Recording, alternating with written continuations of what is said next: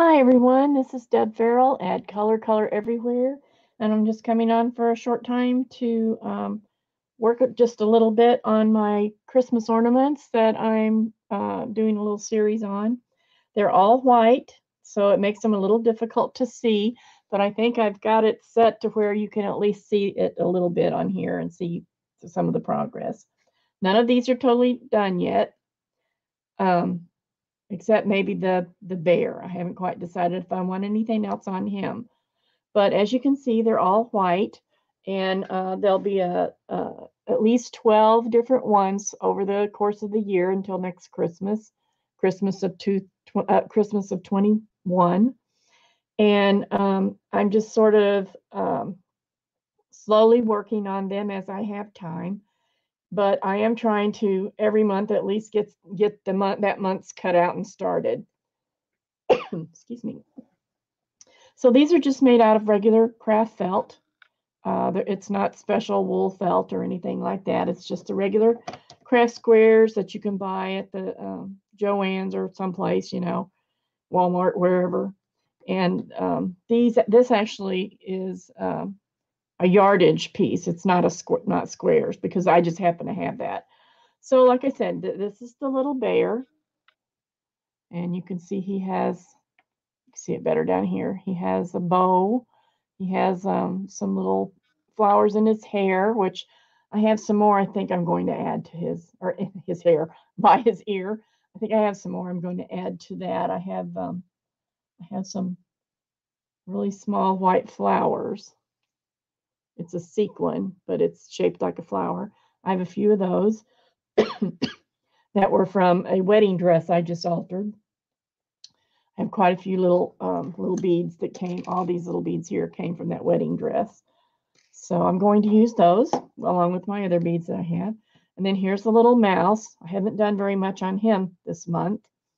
Um, but you can see, excuse me, let me get a drink. You can see that it's a little mouse standing behind a, candy cane. And I started decorating the candy cane with some sequins. And that's, um, I've done all the blanket stitch. Everything is blanket stitched all around all these little pieces. They're all blanket stitched on in layers. And then the backs of them are just solid. So that's how the back looks on each one. And then we've got the little cat in the in the sock. He has a few things done to him. And um, then now, right, I'm sorry, I don't know what that's all about. Right now, I'm working on this wreath. So this is January, February, March, April, and here it is May. So I have to, I haven't cut the May one out yet. I haven't decided what it's going to be, but it might be, I think I'm going to do, let's see if I can find it. Um, see what patterns I already have drawn out.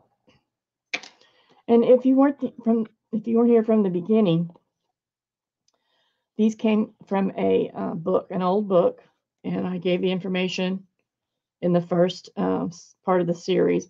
I might do the rocking horse next. I don't know, either the rocking horse. I have a skate ready to do. I have a Christmas tree ready to do. And the Christmas tree is kind of like the um, wreath. It has little layers of the pieces on there. And then I have a candle. Here's part of the Rocky Horse. So, so I have some already cut out. So these will be the next ones that I do. And then there'll be some more um, that um, I haven't even drawn out yet from the book. So, but today I'm just going to work a little bit on the wreath.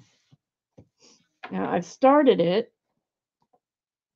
and uh, it has, the front has three layers and I'm using pearl cotton, um, number 12 pearl cotton. So it's a, it's a nice size to use, but it gives a nice uh, look. It shows up. And sometimes I'm actually using embroidery, uh, machine embroidery thread. When I'm putting on beads, I use the machine embroidery thread with uh, a beading needle because I don't have any white beading thread. So that's just what I had. So this is actually, um, if you peek in the corner here, you can see this is This is actually three layers, these three layers. And then this will be attached to a solid back and it will get stuffed just like the other pieces did. Although this one is, it's pretty thick without being stuffed. So I have to think about that. Do I want to stuff it or not? I think it deserves a tiny bit of stuffing, but it's not going to take much at all because this is three layers. So it's it's pretty puffy already. And then I have a piece of lace I just had in my hand. Where did it go? Over here somewhere, unless I dropped it. That's always the way it is. Um, where in the world was this it? Yeah, I think this is it. I'm going to put this on here so that it kind of works its way over it. Yeah, see, now that's getting hard to see again. I don't know what happened. Let me see. That's the one, that's the thing about doing this white. There. It's very hard to see on the screen. I put these back. That will help the adjustment. It helps a little bit. But anyway, so that's what I'm doing. So now I'm going, I've done these three layers. and I'm going to, um, I think I'm going to go ahead and sew this piece of lace on before I put this together. And um, that way it'll it'll just be like a little applique that I've put on there. I just thought that looked kind of festive. Kind of like that. So I'm going to get the biggest part in place first. And then I'll just stitch it in there. And I can I can put the knot in the back because it doesn't matter. It's not going to show because there'll be another layer on the back of it. So I just knotted my thread and all I'm going to do is go through here and, and sort of tack this down.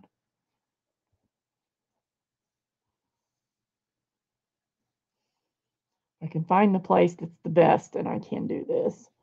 Hi, Janet and Mrs. Gigi. Yes, they are made of felt.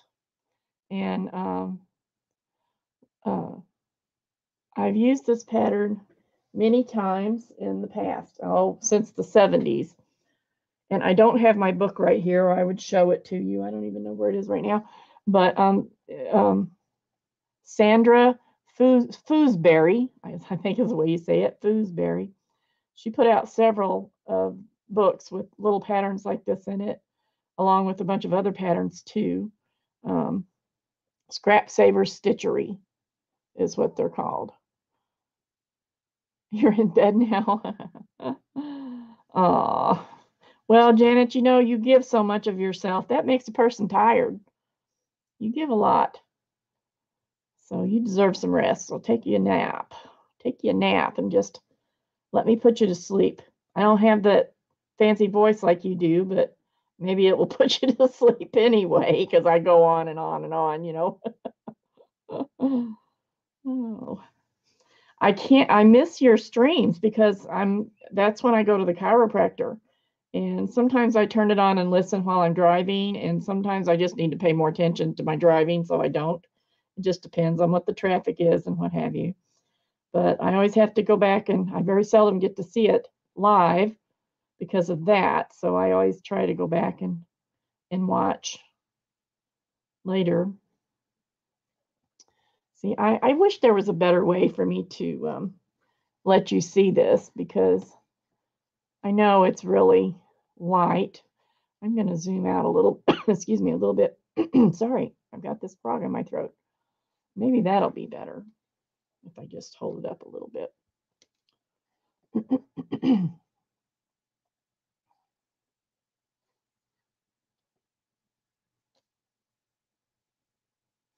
Oh, thanks, Janet. I have fun making them. I've been doing quite a few doilies here lately.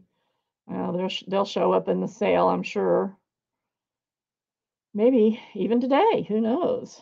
Who knows? But uh, yeah, I've been, and I just started working on some more needle books. I really enjoyed working on those. So those are the things I usually do when I'm uh, not in the craft room, when I'm upstairs in the evening with my husband and we're watching TV or whatever, listening to a book or something. And I just have this stuff sitting up by my chair, so it's at hand. And it's little things that I don't have to spread out quite as much. So I can I can do all that handwork while I'm sitting there. Sometimes I miss um, that kind of creating. You know, I, I do a lot of paper and I haven't done a lot of jewelry in a while. I kind of miss that. I haven't done any metal stuff in a while. I miss that. But I've been enjoying doing so paper so much that um, you know you can only do so many things.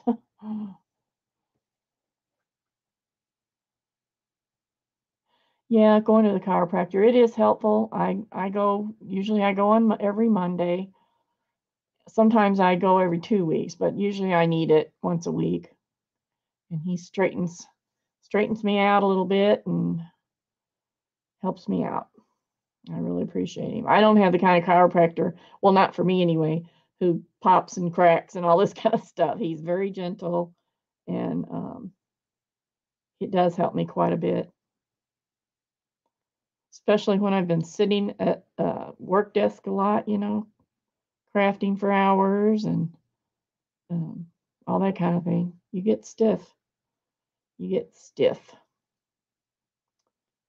But that's life. So oh, I'm so glad that uh, I know I said this before, but I've been working on these wedding wedding alterations, and the wedding was this past Saturday. So I'm I'm glad that that's that's through. I hope there's not another one anytime soon. No, Janet, I'm really not a master. I'm not a master hardly of any of them. I if there's anything that I'm a master of, it might be sewing because I've done it for so many years and I've done a lot of specialized things.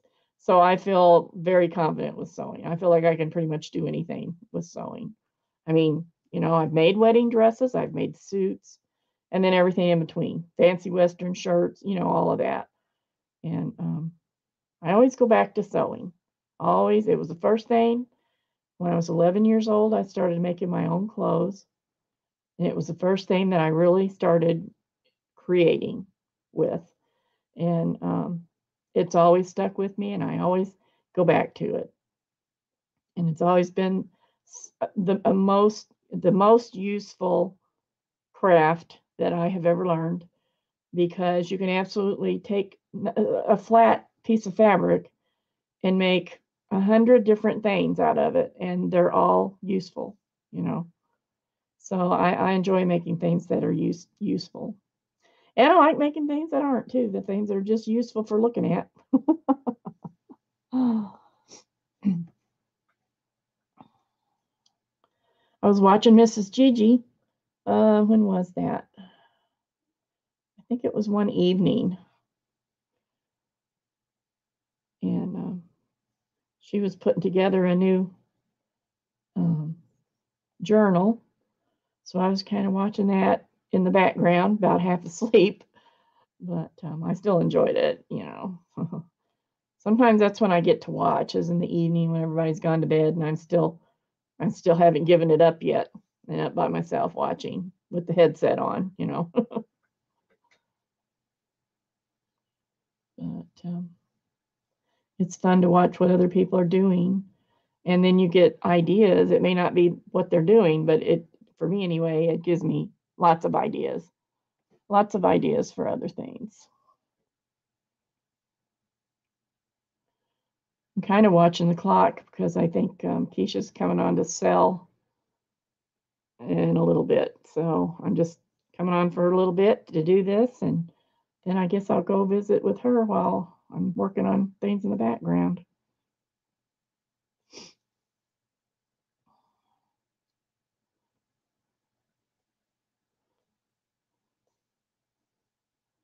Think this is going to be pretty. I'll put some more beads on it.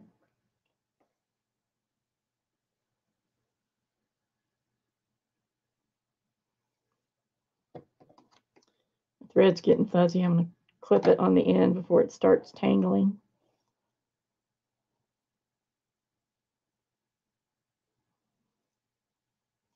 Now there's net in the middle of, oh, come on. There's, there's net in the middle of here, so I don't really have to stitch.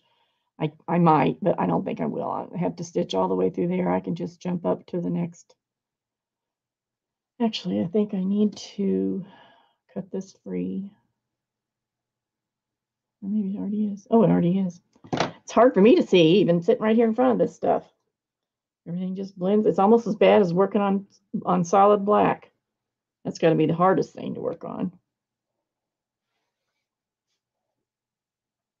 You know, I get inspired by everyone. I, I it hurts my feelings to hear someone say, I can't do anything right, or I'm not good enough, or whatever, because I want to see what everyone's doing and what whatever level they're at. You know, it doesn't mean that someone else is better or does something better than them. It's just that they may not have as much experience yet. But um, I like to see what everyone's doing and what their ideas are, because it, you know sometimes the best ideas come from inexperienced people, and I want all the good ideas. I got a knot in my thread that I can't get out. It's so tiny. I think I'll. I think it'll still work.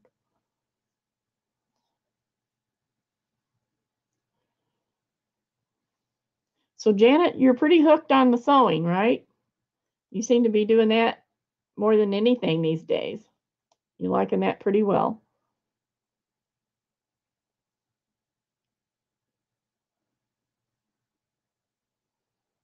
I've always liked it, and I've always liked doing handwork.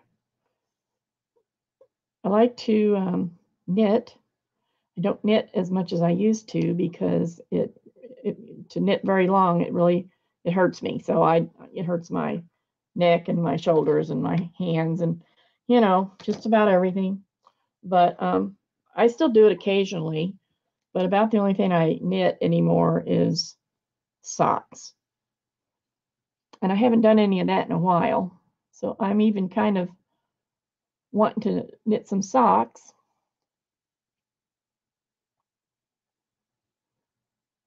But I think that's going to wait till it gets gets cold again. It's not that warm here yet, but it's getting there. It's trying to get there. I'm going to try to thread this needle again. I'm using a rather large needle, long needle, and uh, the eye is long, but it's not, the hole's not really big. But I need something to use this um, pearl cotton with. And I use a long needle because it's easier for me to grasp. I can hardly use a short needle anymore because my it cramps my hands too much, you know. So so you just find out what else what you can do otherwise. Sock pattern and a little bamboo needles. Ah, are you you have the uh, you're going to do four point needles? I like doing that. Yeah, I really like making socks. The only thing is I'm I really don't like making the cuffs. I like to make the foot part, but not the cuffs. So I'll start out making some that, you know, they're supposed to have not be uh, more like anklets instead of what's the crew socks or whatever. I don't know what the right word is. Uh, but instead of making the long cuffs, I end up making the short ones because I don't have the patience. oh, sometimes I do, but that happens more often than not.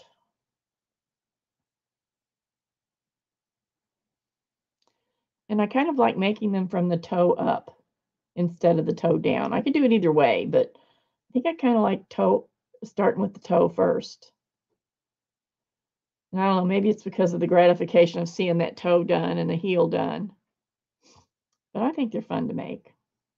And they don't cost you could buy nice yarn and not spend a whole lot making socks. So I like that too.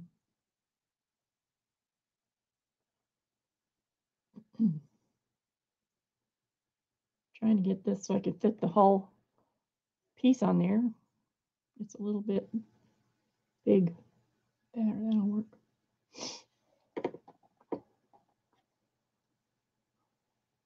Well, hi, Beth. How are you today? I'm just on here for a little while. Um, just to uh, catch a little bit up on my or catch up a little bit on my ornaments because I'm kind of I kind of got behind last month doing all that sewing stuff. So now I'm trying to catch up a little bit.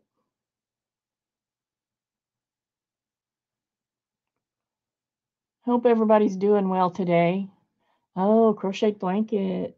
See, I don't crochet blankets too much. I do every once in a great while. I don't really crochet with yarn much anymore. Um, same reason as the knitting. I used to, but um, the last two Afghans I made were the last two, I think. And now I mostly just do thread. And I have so much thread that, you know, I don't have to go out and buy anything. I guess I got plenty of it. So I'm just using what I got, trying to most of the time. But uh, these little ornaments are fun to make, and, and I needed something for my tree. We just changed colors. I'm going to sneeze. Hold on.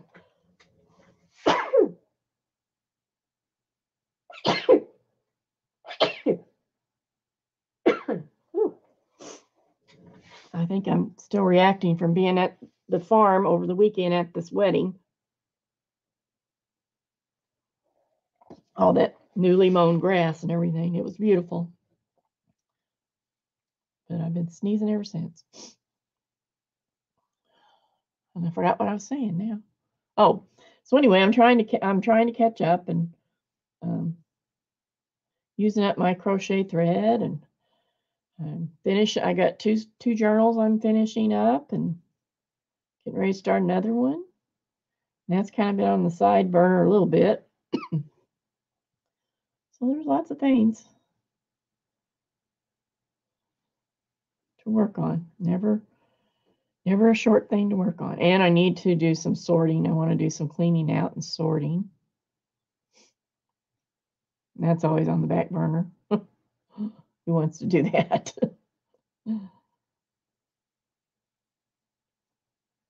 oh, thanks. That was pretty that was pretty calm. Usually I sneeze like 6 to 10 times.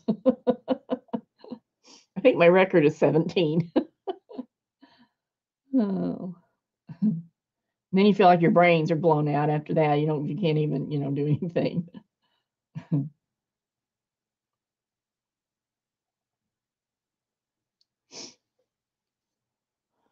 Let's see, what else do I know? Thanks. Thanks, Beth. I know they're hard to see. They're coming along. See those? They're coming along. I at first I thought, okay, now I got to do one of these each month because I started. Uh, when did I start? This is the third one, so I started late. I started a month late, so I did January and February. And then I was, you know, I had myself, my mind was in the schedule thinking, okay, I got to do one of these every month. Every month I got to finish one. And then I got to thinking, why am I putting myself on this pressure? I don't have to finish one every month. I just want them all to be done at the end of the year. So, yeah. So I got rid of the pressure. Now I'm enjoying it more. Oh, chicken and dumplings. I've got two, um, I don't know what to call them, two pieces of uh, hog jowl. Does anybody, do y'all know what hog jowl is? In the refrigerator, and I'm going to cook them on the smoker. And it is so good. It's so rich, you could hardly need it. But I got that to do, plus I got a big tray of chicken I'm going to put on the same time. That way I could just, you know, freeze freeze it after it's cooked and don't have to worry about fixing something for a couple days or something. So I might do that tomorrow because I don't know when I'm going to have another free day. Beth, you know what? Uh, let me look around right quick and see if this book is right here. Um, I the patterns are from, and I don't see it. The patterns are from a book by um, Sandra Fus Fusberg, Fusberger, Fus, is that right? Fusberg, I think. And it's old book. It's from the 70s, uh, late 70s, I think. And um, I'm, I believe it's still a copyright thing, so I can't sell the patterns. but the books are still available. I looked them up and they're still ava- available. You can get them for about $5 and there are multiple patterns, other kinds of patterns in there too that are really fun. And uh, it has um, a number of, I don't know, let's see, I'm going to say like maybe 24, maybe somewhere between 15 and 24 patterns for different things. So there's like a Santa, they're all Christmas related in this set. And um, they're, uh, you can you can make them into ornaments or um,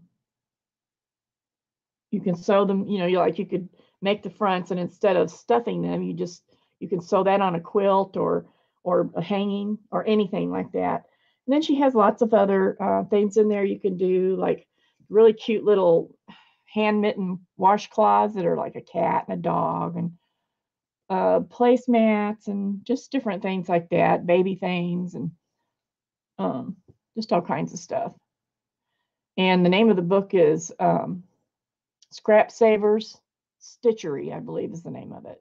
It's actually in the in the first. I show it in my first um, the first uh, video of the series. I can't see today. Oxtails. Hmm. I don't think I've ever had oxtails. Boy, chicken and dumplings sounds really good.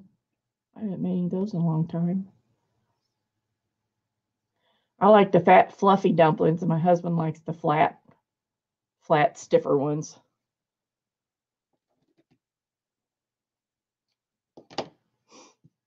So I try to make them like that, so for the kind he likes, most of the time when I make them. Such a poor cook. I don't know how the poor man survives. Well, we go out and eat a lot. That's why. okay, so let's see. So I'm almost around here.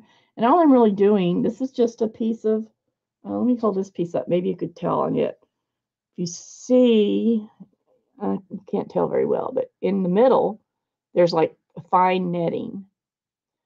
And, and like right here, there's also some fine netting. And that kind of holds it all together. And you don't have to stitch uh, real close around the edge, but you know, enough so that it doesn't come up. And that's all I'm doing. I'm just stitching around the edge of the pattern or of the uh, design. There, I missed that one, so I got to go back and do him. And that's the same way it's stitched on most wedding dresses, unless it's a solid piece.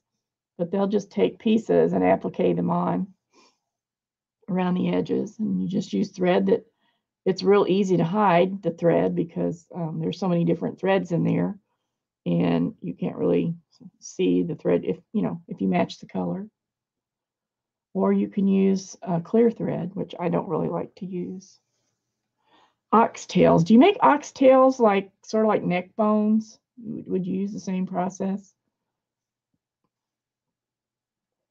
Sometimes we have neck bones in kraut which I I'm not crazy about kraut, but I love the neck bones cooked with the kraut. I'll eat the kraut. I gotta have mashed potatoes if I'm gonna have if I'm gonna have sauerkraut. I gotta have mashed potatoes with it. but I can't eat it.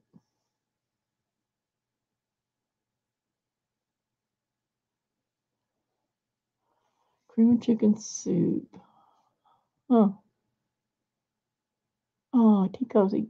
Yeah, I have um, crochet books that are from the the 50s, 1950s. I have a big stack of them, and it's when they started putting out the the, the um, colored crochet thread, and um, and the books were well, they might have had colored crochet thread before that, but I you know I think they I think they I don't think they had that much of it before then but um, I think it's when the books started coming out in color because the ones before that, most of them aren't in color, but these have like flowers and flower doilies and stuff like that. And um, I've had them for quite a long time. I I just came by them by accident. I was I was doing some cleaning for a lady that when I was when I was young and we lived in Florida, we lived in a trailer park, and she needed someone to clean out some of her rental trailers. So me and my girlfriend, we did that. And um, in the top of one of the closets, there was a a stack of these books. And I and I was crocheting. I always I've always I've been crocheting since I was like 12. So um, you know, I perked up right away and I thought, well, I wonder if we should try to get these to these people. And the owner said, no, they're deadbeats. They didn't even pay their bill. I don't know where to find them, or I would. She said, don't worry about it. Just keep them or throw them away, either one. So I was like ecstatic to get those. And I've been I've been using them since the 70s. So, you know, if you like that old fashioned kind of stuff, and there it is. And then someone gave me some more.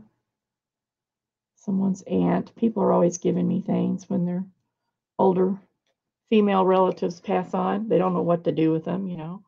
So I get a lot of old jewelry and sewing stuff and what have you. Yeah, I'm usually pretty happy to get it.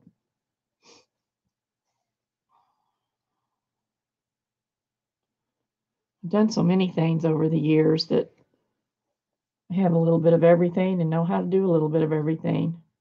And sometimes I really, I've said this before. Oh, thanks, Janet. I don't know if you could tell what they are. Let me see if I can get it up here close enough. There, see, it's a it's supposed to be a rose. This one. It's supposed to be a little rose on there with polka dots. The little girl that did them, she was so excited. She had to take pictures and all this kind of stuff. I thought, oh, well, okay, whatever you want to do. But yeah, I did that on my birthday, so it was pretty fun.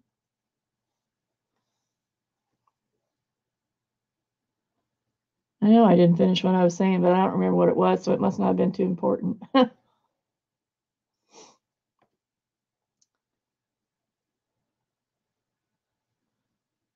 almost done with this little piece.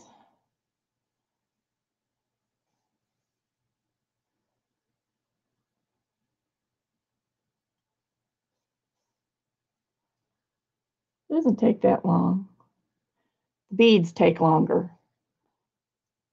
Beads take a lot longer because you know they're little and fiddly and all that, but they do make a big, they do that put on a big show. So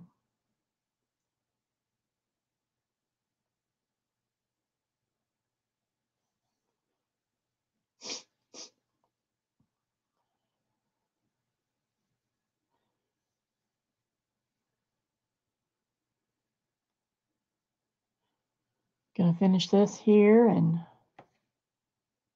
just saw the red. well, she's such a cute little girl. Her name is Anna. Her real name is um, Win, but her American name is Anna. She's Vietnamese. And she's just as sweet as she could be.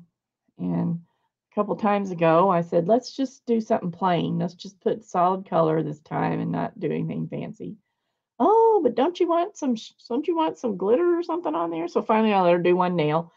And I said, next time I come in, I'm going to have a challenge for you. so last time I was in there, I, I took in a, in a picture of, of what I thought I would like. And she, she did that really well. And uh, so this time I, I took the, a picture similar to this in there and she did a good job with that. So it's pretty fun. Might as well have fun, you know?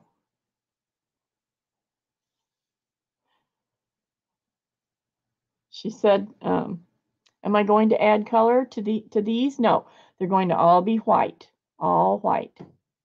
White beads and you know, all white stuff.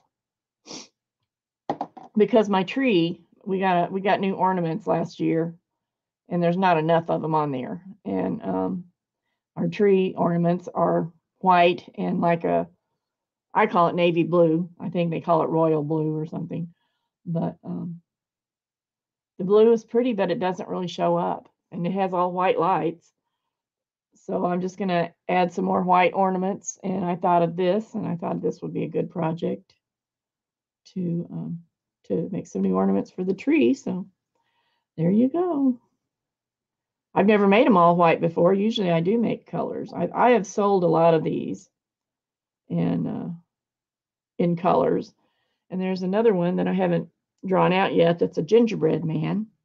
He's really cute. So I'll be doing one of him too.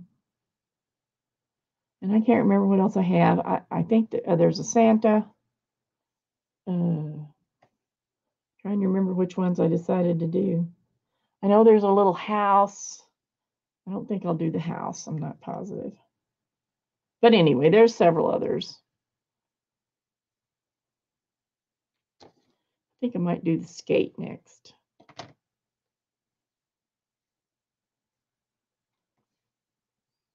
See, I'm using this humongous needle. Look how long it is. How long is that? Two inches, two inches long, but it gives me a good, a good grip. So that's why I've been using it. Okay, ladies. Well, I'm gonna go. I think it'll be pretty, Janet. Um, so the next thing I'll do is stitch this on together on the edges and then I'll go in and stuff just a tiny bit of fiber in there and then stitch the center. And um, then I can go back and bead it or whatever. I'm probably, I think I'm going to use some of these if I have enough. I'm going to use some of these little flowers because they're pretty and put a shiny bead in the center maybe. Or look and see what else I have that's white. So thanks for stopping by. I didn't plan on being here very long. I think um, in a few minutes, I think Keisha's going to start uh, start up, and I wanted to go over there, and she's going to be doing a little bit of selling today, I think, which is different. So um, I'm glad y'all stopped by. Uh, come back anytime. I enjoy seeing you all here. Oh, okay, Beth, I will. I'll try to do that. I always forget, you know once I'm done, I'm it's out of my brain. So, but I'll try to remember to do that because that's a nice thing that you let us do. I appreciate that. So thanks everyone for coming and um, hope to see you next time and I'll see you around. Okay. Bye bye.